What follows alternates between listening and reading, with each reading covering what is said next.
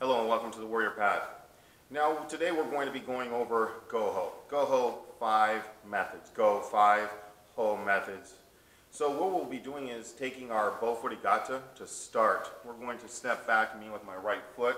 I'm going to raise the bo up, motorcycle baseball, golf one. Warding off once.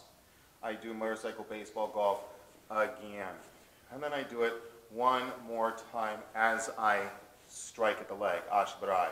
We're going to follow through with Menuchi Gata. If you've been practicing this, you should be very familiar with this, very comfortable with this, and very successful with this.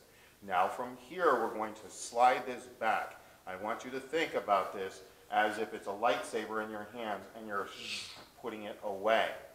From here, all you're doing is loosening up your grip and then recapturing the bo so that your hand is at the end and your other hand is about a third of the distance away.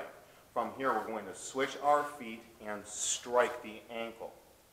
Next, we're going to do a feint to get an actual strike. We're going to slide the bo back. Again, trying to loosen that grip and allow this to move. I want some end here at the end, so my hand is up a little bit from the end. I'm going to throw the bo up and over and make every indication I'm going to be striking high.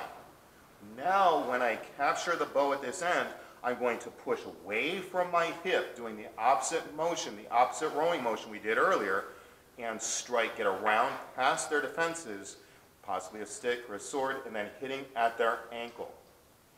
Well, let's watch this again. Five methods.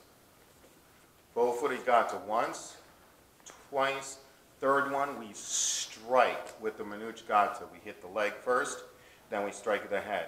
We slide this back, almost like a lightsaber being put away. So we switch our feet, striking at the ankle.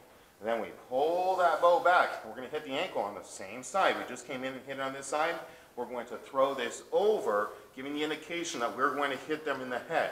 We pick up the stick at the end, push away from our hip, getting past their defenses, and strike at their ankle. Again, bow footed to one, bow footed to two, bow footed gata turns into ashi barai, followed by menuchi gata, sliding it back. We switch steps, striking at that ankle, slide back over the top of the head, pick it up, and strike.